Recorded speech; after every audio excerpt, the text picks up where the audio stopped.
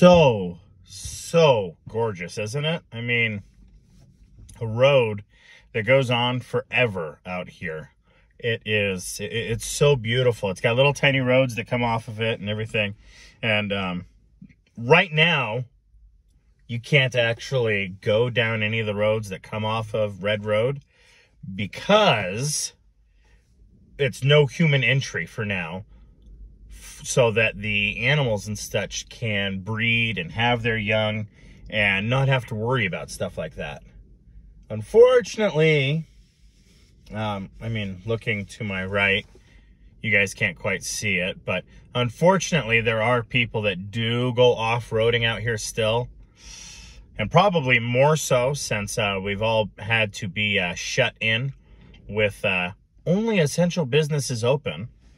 And so it's caused a lot more of that, that to happen.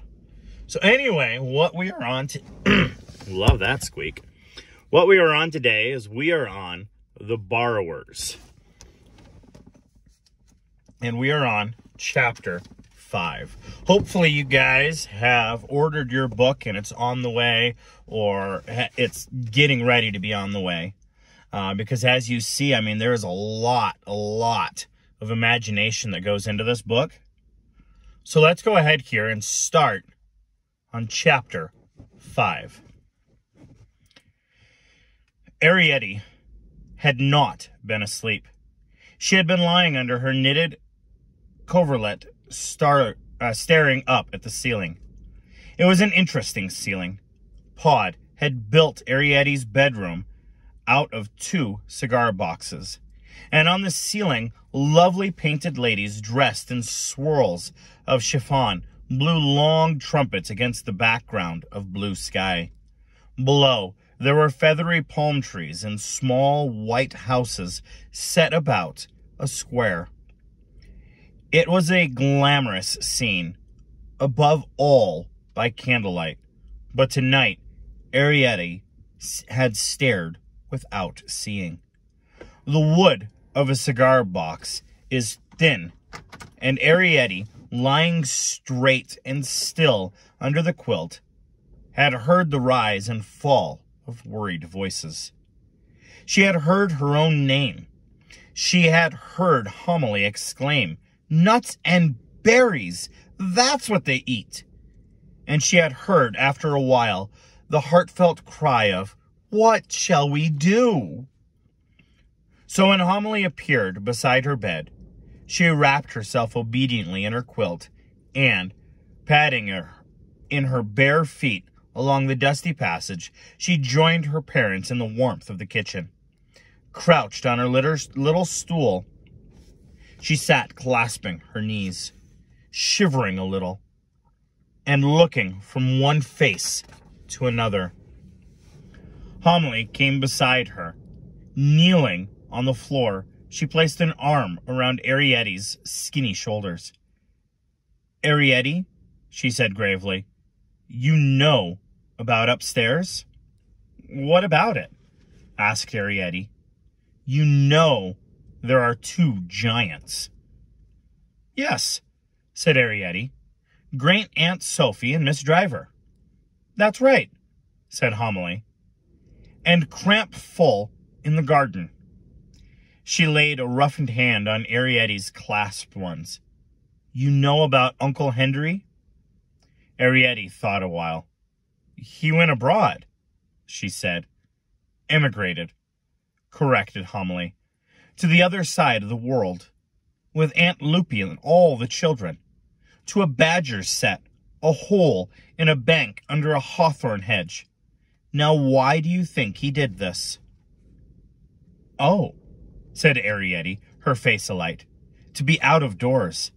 To lie in the sun. To run in the grass. To swing on twigs like the birds do. To suck honey. Nonsense, Arrietty, exclaimed Homily sharply. That's a nasty habit.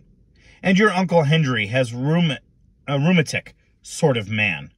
He emigrated she went on, stressing the word, because he was seen.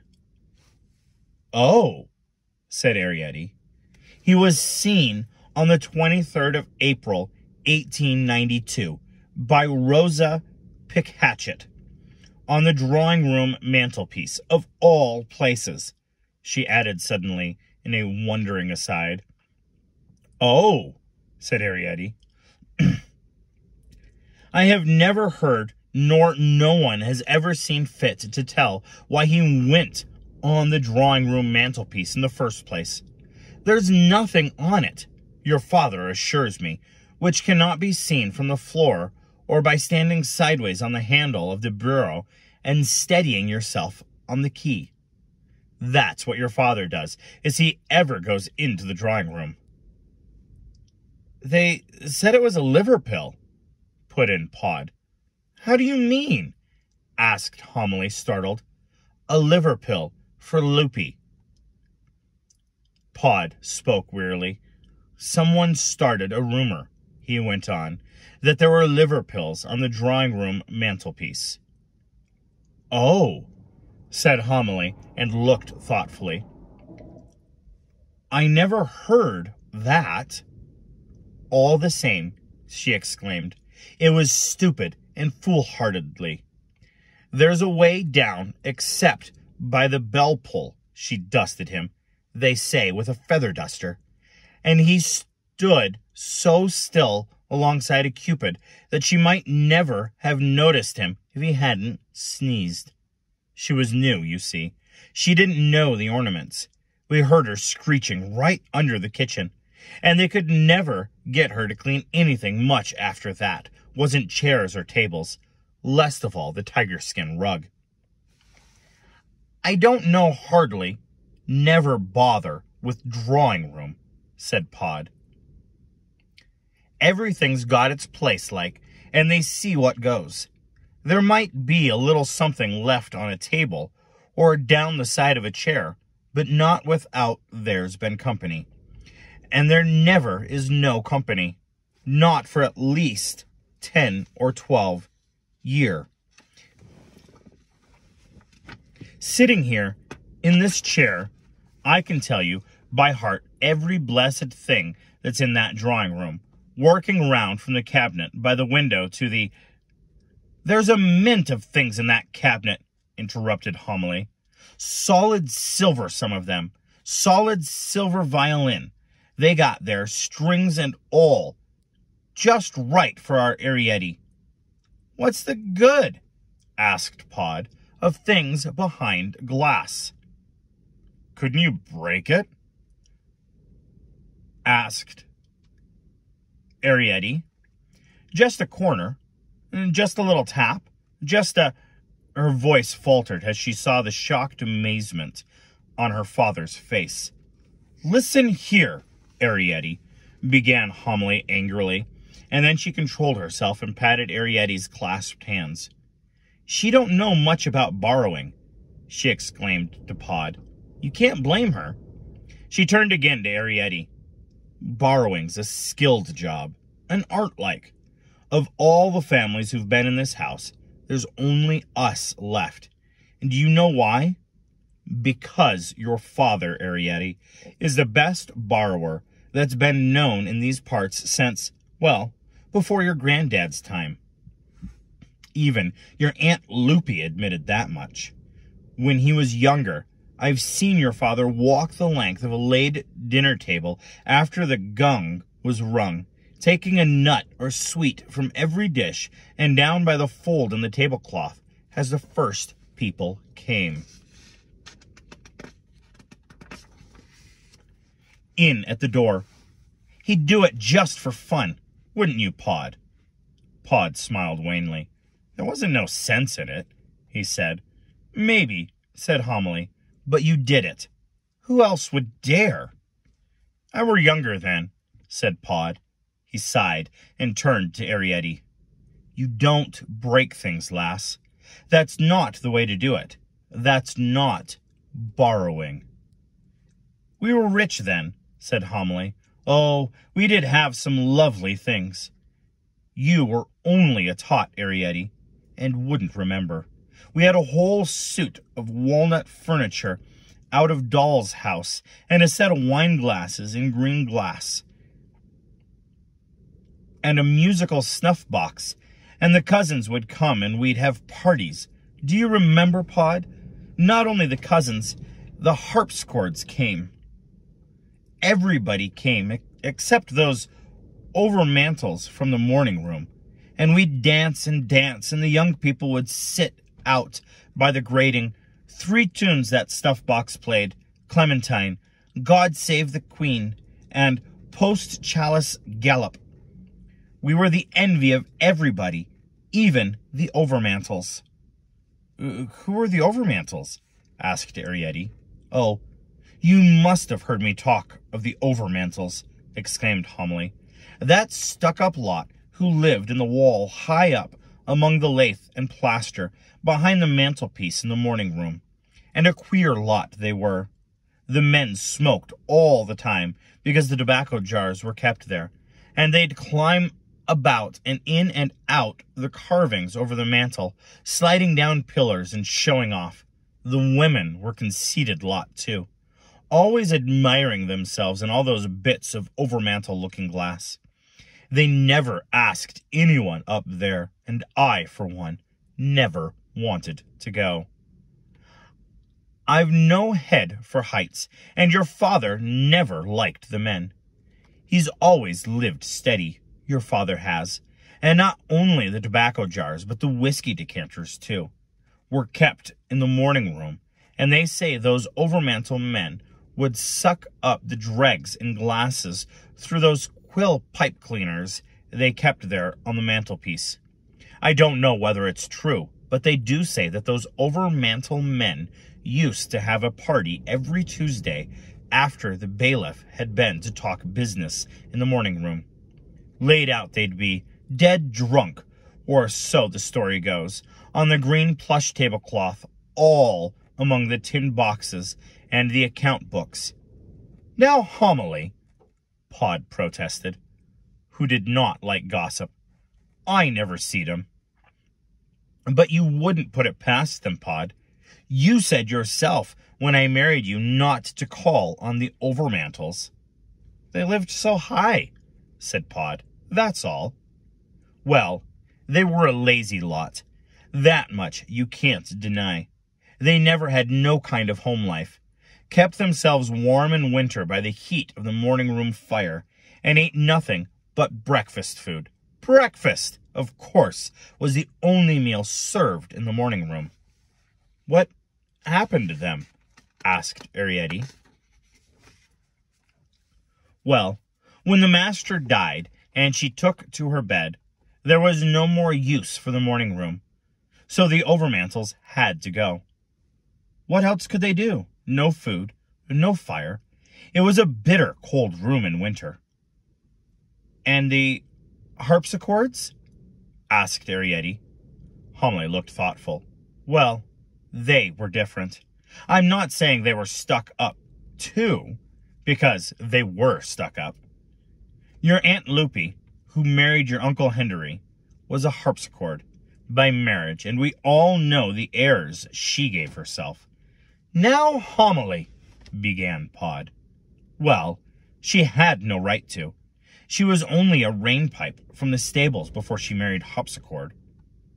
Didn't she marry Uncle Henry? asked Arrietty. Yes, later. She was a widow with two children, and he was a widower with three. It's no good looking at me like that, Pod. You can't deny she took it out of poor Henry. She thought it was a come down to marry a clock. Why? asked Arrietty. Because we clocks live under the kitchen. That's why. Because we don't talk fancy grammar and eat anchovy toast. But to live under the kitchen doesn't say we aren't educated. The clocks are just as old a family as the harpsichord. You remember that, Arrietty, and don't let anyone tell you different. Your grandfather could count and write down the numbers up to, what was it, Pod?